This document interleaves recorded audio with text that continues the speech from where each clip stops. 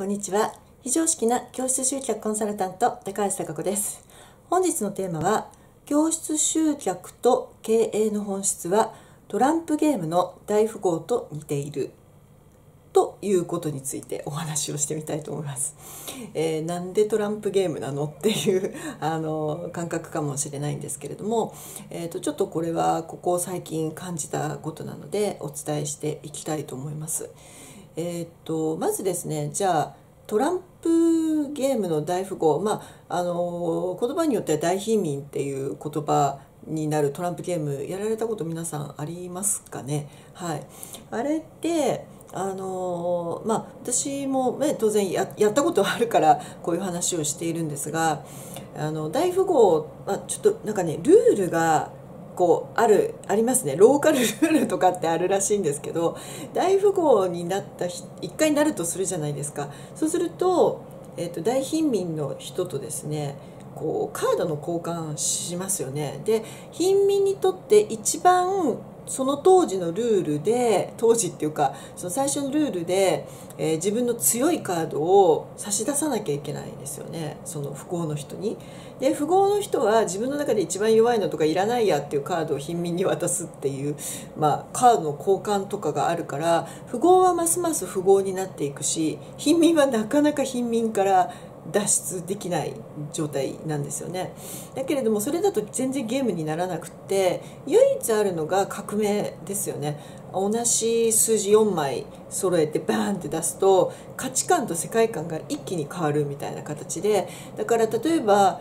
大富豪が2とか13とか12とか11とかものすごいたくさん持っていて楽にこう上がっていこうとしてカードを出していこうとしてた時に貧民がですね 革命を起こすわけですよ下克上そうするとダーンと4枚出された瞬間にもうクズになりますよ。2とか13とか12とか。でそうすると一気に大富豪から大貧民になっていくみたいなこともあるんですけどなかなか4枚同じカード揃うのってこう引きながらやっていくの難しいですよね。で革命はなかなか起こらないけど起きるとそんなことになるっていう感じなんですね。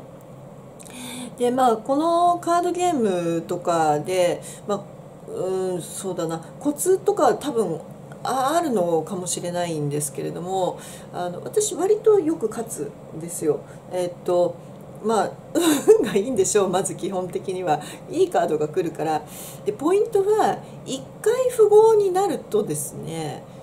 まああのなかなか貧民にはならないですよね。だっていいカードがそもそも来るのだからそれに合わせて出していけば基本問題なくいける。まあ唯一えー、っと警戒しなきゃいけないのは革命ですけどね。革命しそうかどうかっていう心理戦はしないといけないし革命返しっていうのも知ってますか？革命されても革命返しするとまた元の世界に戻るんですよ。4枚出されて4枚こっちが持ってるとバーンって出すとそれを元の世界に一瞬にして戻すことができるのでまだ不幸が続くみたいな。そういうのもやったことありますけどね、まあ、まあまあまあそれはさておき。要は何が言いたいかっていうとその1回えー、そのいい状態のスパイラルに入っていくとずっと勝ち続ける勝ち続けるというかうまくいき続ける可能性が高いということなんですね。だからまず一旦その領域に入るっていうことをしなくちゃいけないんだよということを教室集客と似てると思ったのでその話から今日はお話をしてみたいと思います。前書き長くなっちゃったけどね。はい。ということでじゃあ本題に入っていきたいと思います。えーと、まずですねその教室集客において、えー、まず、まあ、ご質問ね皆さんにしたいんですけれども毎年集客が楽になってる人ってどれぐらいいますかね？という感じなんですよ。え何それとか思うかもしれませんけれども毎年集客が楽になっているかまあなってない人の方が私は多分多いなっていうふうに思ってるんですね。なってないっていうのことはどういうことかっていうと、えー、要因はいくつかあるんですけれども毎回集客して毎回そのレッスン枠を埋めていくっていうことですね。これがオフラインであろうがオンラインであろうが考え方は一緒です。毎回埋めていく。だから毎回集客し続けなくちゃいけなくってしかもその作り込みがですね硬い人をちゃんと集めるようなコミュニティすら持っていない状態だったりすると毎回こ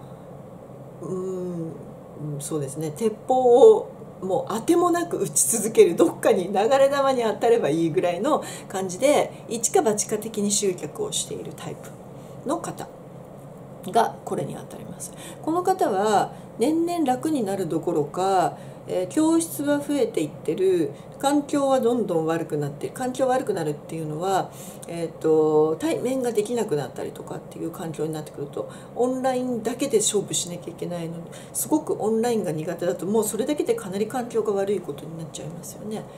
でそういうこう環境が悪くなっていくことに左右されて同時に売り上げが下がっていくし集客が難しくなる。だからこの方は年々大変になるパターンその1です。大概教室の先生この方が多いなっていうふうに私は感じています。でその2、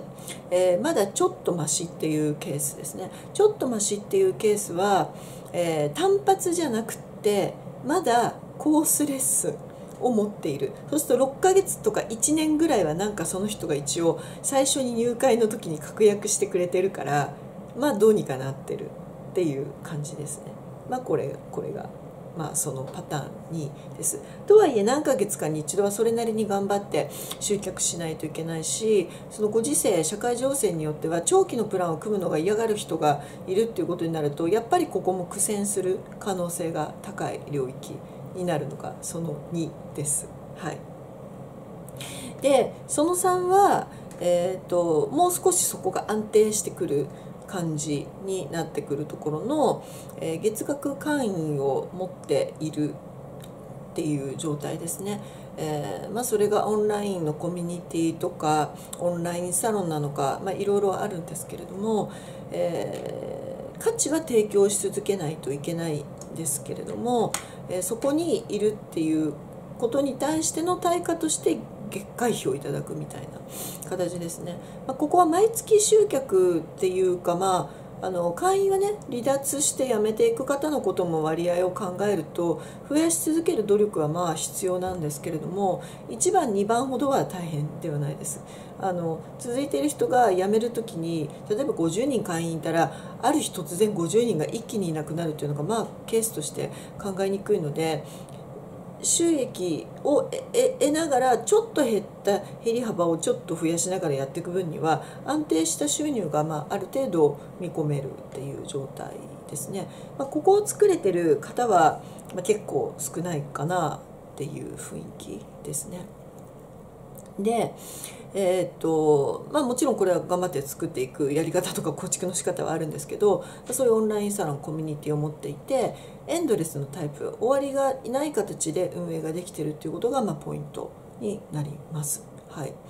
でその4ですね。その4のパターンは、えー、自動まあ私が割とそこを言ってるのは自動集客みたいなところにかなり近いんですけども、えーと、仕組みをちゃんと作っている。仕組みです。えー、それはどういう仕組みかっていうと一番大きなのは動線ですねお客様があなたを見つけたそしてその後、まあ、言葉は若干悪いけれどもベルトコンベヤーに乗るかのようにこう流れに乗って必要な時に申し込みが入るみたいなそれがこうぐるぐるスパイラルで回るように組んであるかっていうことですね。で組んである部分の入り口のところっていうのがまあ SNS とかで多分皆さんを知ることになる機会が一番多いんですけどその後ですね SNS で知った後例えばホームページとかを見てもらってあこの人って信頼できるよねとかっていう形で、まあ、メルマガ登録とかで信頼関係を築いてって、まあ、必要な時に必要な情報を流して必要な人が必要なものを購入してもらうって、まあ、これの繰り返しなわけなんですけれども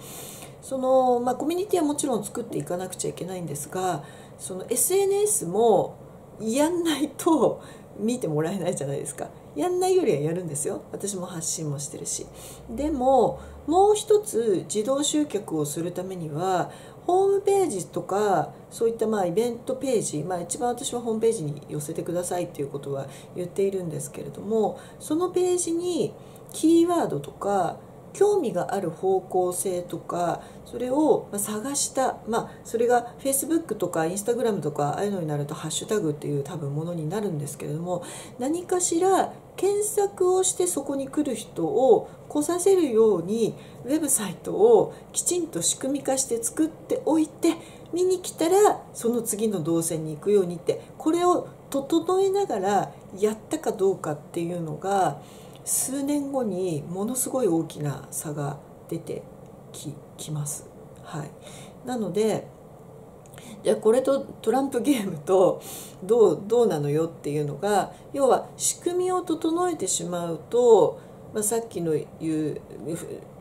大富豪のねトランプゲームのルールみたいに仕組みとして大富豪が基本勝ち続けるような仕組みになっちゃってるんですよあのトランプゲームって。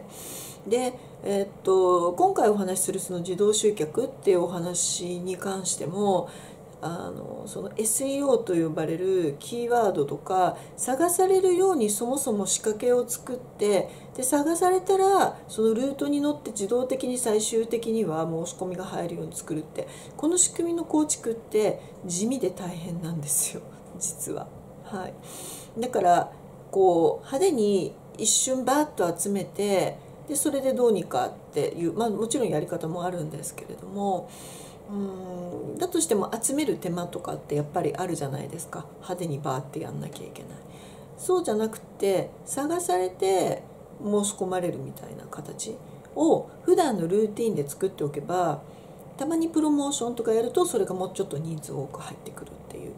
たまにちょっとこう山を作りたい時まあ、1年に私もプロモーション何回かやりますけどその時に例えば月で300万売り上げが上がったりとか500万売上げが上がったりとかっていうこう山を作っていくことはあります。だけどベースになるものは基本そのホームページを見せることによって、まあ、特にブログなんですけどね。でメルマガ登録をしといてもらってゆっくり、えー、信頼関係を構築するみたいな。これやってない人すごく多いですよ。はい、となるとこれができるとじゃあどんな未来とね世界があるのか。っていうお話をすると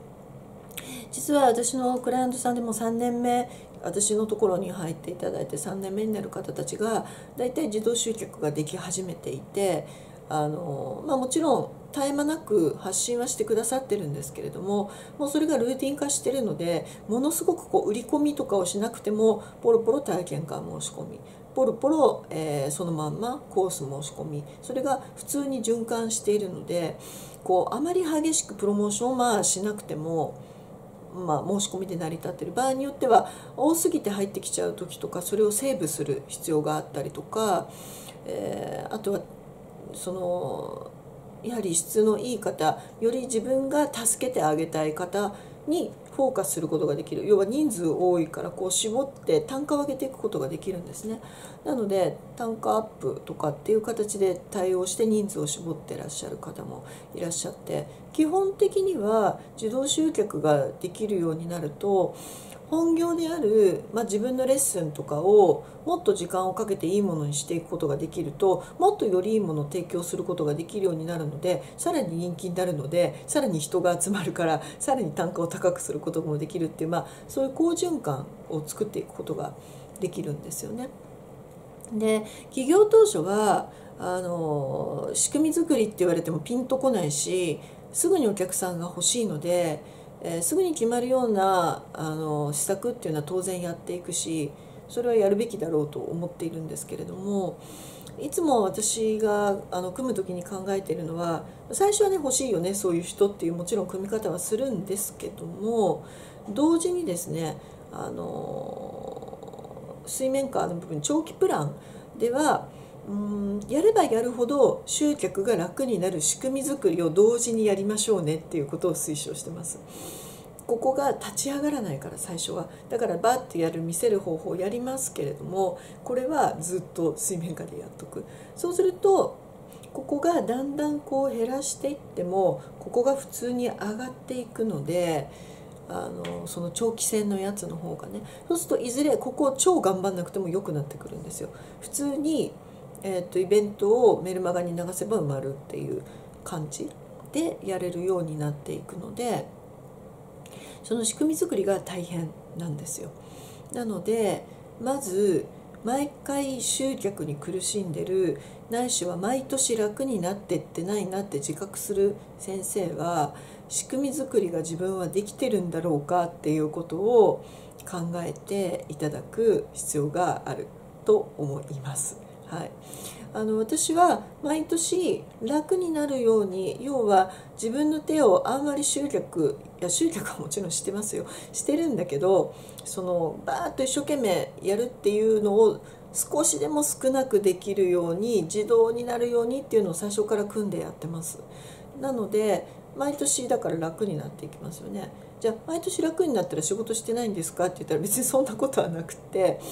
その業務においては楽になるから違う業務をやることができますよね新規事業とか新規事業とか。なので私パン教室をやってた時にあの当然コンサルになることはもう決めてはいたんですけれどもそれをえーと、毎年1個新しい事業を立ち上げてやっててさすがに5年目になって5種類になって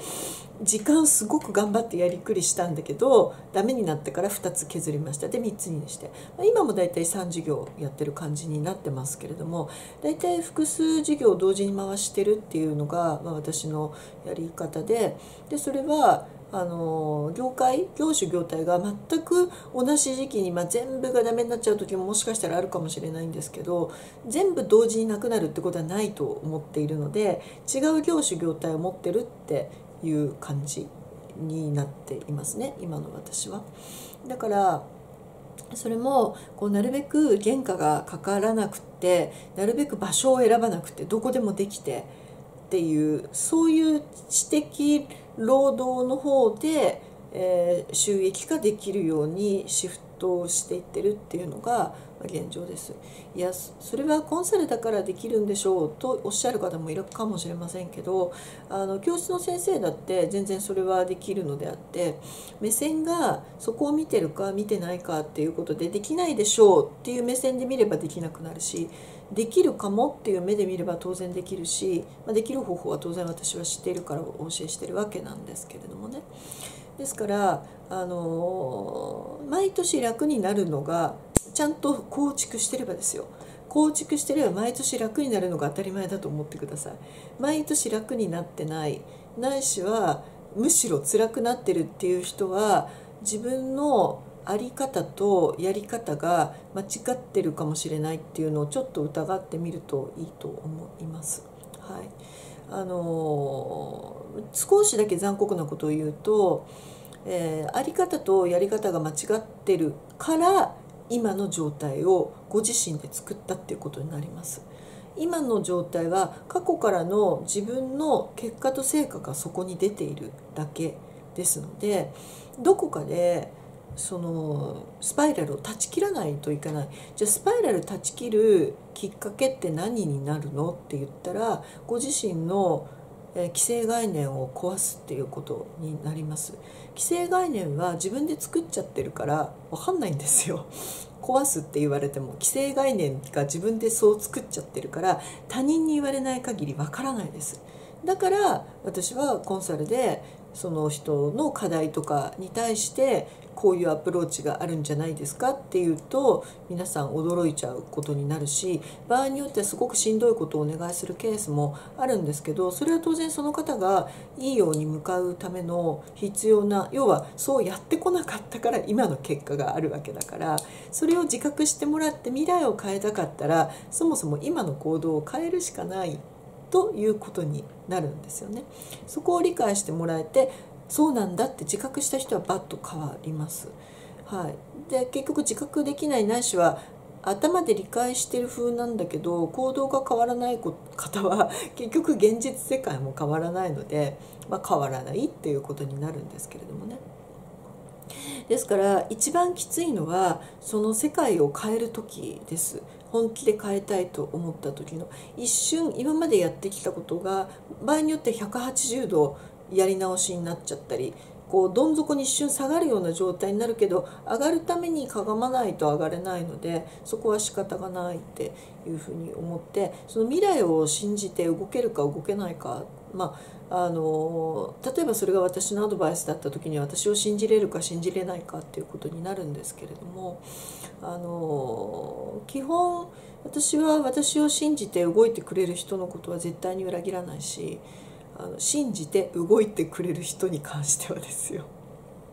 動いてくれない人はちょっとあの保証できませんけどね、はい、動かないと世界が変わらないので。はい、ですのであの毎年楽になっていくっていうのは基本私は当たり前だと思っていてそれによって時間とお金を作ることができればまあいろんなところに行く。今はちょっとねあの世の中的に行きにくいんでしょうけどいろんなところに旅行行く。いろんなところに行く。欲しいものを買う。家族との時間を過ごす。行きたい場所に行って会いたい人に会う。これが叶っていくようになるためにまあ、仕事をしてるっていう感じですね。まあ、とはいえですね仕事自身は私も好きなんで仕事や趣味で、うん、趣味が仕事でっていう領域で遊びと仕事を行ったり来たりしてるんであんまり仕事してる感覚はないんですけれどもあのそういう領域を作っていくことができます。でここで一つ分かってほしいのはどこかの段階であのしんどい状態ないしは自分に負荷をかける状態の期待の時期が絶対に必要になるっていうことです。はい、私起業して3年最初の3年はもうがむしゃらに働きました。結構。はい。なぜならば3年で主人と約束した年商600万いかなかったらですね、まあ、OL に戻るっていう約束をしていたので絶対戻りたくなかったんで。あのせっかく独立して好きなように仕事をやりたかったのにそれ戻るの嫌でしょうとか思ったんでということはその休みがどうのこうのとか、まあ、そういうこと言ってる場合じゃなくて。であの起業家の私が尊敬するコンサルタントも、まあ、僕も起業して3年は1日も休みなかったですからねって普通におっしゃってたんであ起業するっていうのは仕事をするっていうのはそういうことなんだって理解してやってた確かに3年間ほとんどお休みなく働き詰めでしたけどまあ別にでもそれが当たり前だと思っていたのでそれよりも約束守んなきゃいけない方が必死だったんであの初年度教室始めて初年度が確か390万ぐらいで2年度が450から460で3年度でやっと600なったんでねもう大変でしたよ。教室で600万とか。まあ高額講座持ってばそんな大変じゃないんですけどね。はい、っていう経験があるのであの皆さんもですねもうどこかの段階でトランプでいう大富豪側の方になるためのどこか負荷をかけなきゃいけない時期がある。でそれがいつなのかっていうことです。それを自分で自覚して負荷をかけるぞって決意をして動かないと変わらないです。でただここでもう一つ残念な話が方向を間違えるとどんなに努力してもダメですよっていうことも知っててほしいです。がむしゃらに努力する人いるんですよ。いるんだけど努力の方向性間違ってるとものすごく効率悪いしここが正しい道なのにこっちに行っちゃってたらもう全然うまくいかないことって山ほどあるんですよ。だから軌道修正してもらえる人っていう人はあの見てもらう必要がおそらくあると思います。あの私自身も、えーと、ずっとコンサルタントの方ですねメンターと呼ばれる方についてあのこの軸が狂わないようにやりながら知識をずっと身につけているっていうのが私の動きとスタイルになってるのであの、まあ、どこかご自身で